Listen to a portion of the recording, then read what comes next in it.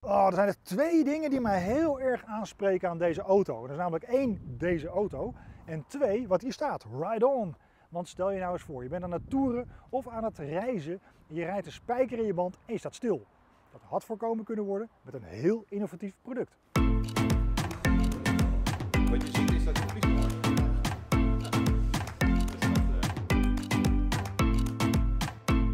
Jacob, jullie product belooft nogal wat. Ten eerste dus dat als je eh, hem lekker rijdt onderweg, dat het gat direct gedicht wordt. En daarnaast dat het de band balanceert, wat ik op zich een hele wonderlijke vind. Maar hoe dan? Nou, dit is, eh, wij, eh, wij voegen een gel in de band. Ja? En de gel genaamd Rijdon. Die zorgt ervoor dat je een, een laag krijgt aan de binnenkant van je loopvlak. Ja? Alles tussen je handen, als je handen op de band legt, binnen het loopvlak, dat beschermen we bij, bij motorbanden. En die gel die balanceert de band. En op het moment dat je lekker rijdt, repareert hij de band gelijk. Nou, dat stukje over die lekkage gaan we nu meteen even testen, want dat kunnen we mooi bij deze band doen. Nou, maar als jij, het doet, gelooft niemand het. Kom, wil ik doen. Kijk, er zitten allemaal gaatjes in die band al, joh. Hier. Yo. Oké. Ehm, nou, dan komt hij hoor.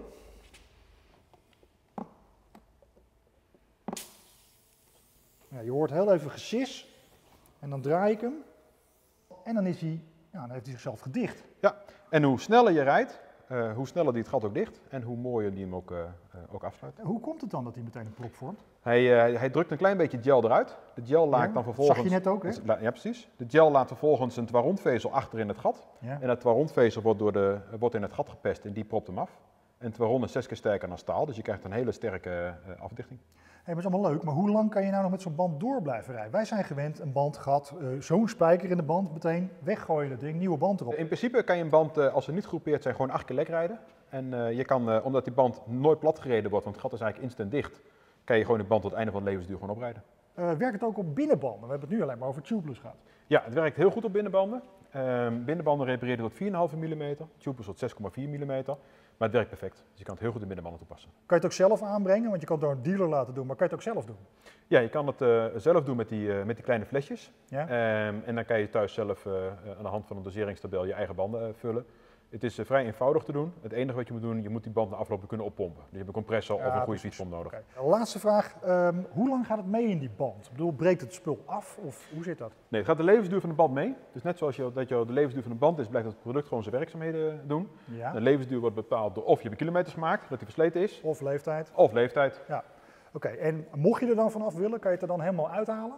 Ja, je kan het er eh, heel makkelijk eh, eh, met een beetje water of gewoon zelfs zonder water met een waterstofzuiger weer uit de band zuigen. Het blijft gewoon een vloeibare gel. Nou, mooi. Gaan we naar de motor.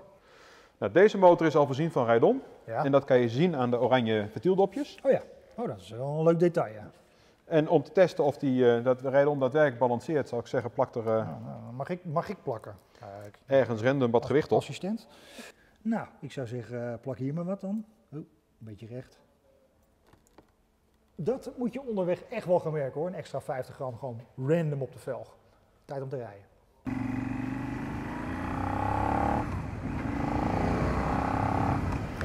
Ja, normaal zou je met 50 gram extra lood gewoon random op de velg geplakt. Echt wel last van trillingen moeten hebben, maar niks. Voelt gewoon normaal aan. Helemaal niks. Gewoon geen trillingen. Strak, zoals normaal. Nou, Jacob, dat het product doet wat je belooft, dat heb ik nu intussen wel door. Maar toch hoor ik nog steeds eigenlijk als grootst gehoorde klacht over dit soort producten van joh, ik wil die smurrie niet in mijn band hebben gewoon. Ja, en dat snap ik volledig. Eh, loop maar eens even mee naar het lab. Dan zullen we laten zien waarom mensen dat denken. Kijk, een heel laboratorium. Althans. Ja, nou het is, eh, het- de vraag zoals je stelde is voor mij ook echt heel logisch. Ehm, een aantal snelle dingen. Kijk, er zijn heel veel producten die gewoon roesten. En roesten is op twee manieren gevaarlijk. Het tast je velgen aan. Ehm, maar de tweede is, het tast ook eventueel je karkas aan in geval van lekkage. Ja, precies, want het staal komt even bloot te liggen Ja, en dan krijg je dus dit. Precies. Nou, dat, be- dat mag dus absoluut niet. Dus ons product is heel zwaar voorzien van antiroestmiddelen. Zowel eh, om de velgen te beschermen eh, door middel van een damp als de, eh, de staaldraden die in de, die in de banden zitten. Oké, dus geen roest, eh, geen aantasting van de velg. Geen roest, geen aantasting van de velg. Maar goed, dat houdt nog steeds uh, overeind dat mensen zeggen ik wil het niet hebben. Ja, waarom is dat je dit laat zien? Precies. Mensen zijn bang voor, voor onbalans. En dat komt eigenlijk hierdoor. Dat zal ik demonstreren. Dit product is rijdon. En dat stoppen we in een centrifuge.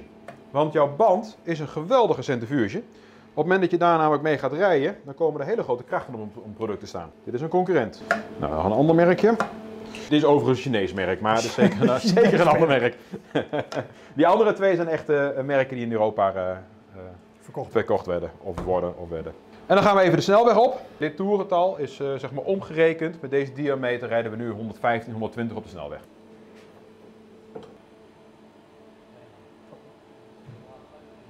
Dit is rijdon. Ja, en je ziet dat het product ongewijzigd is. Ik wou zeggen, zo ging het er ook in. Ja.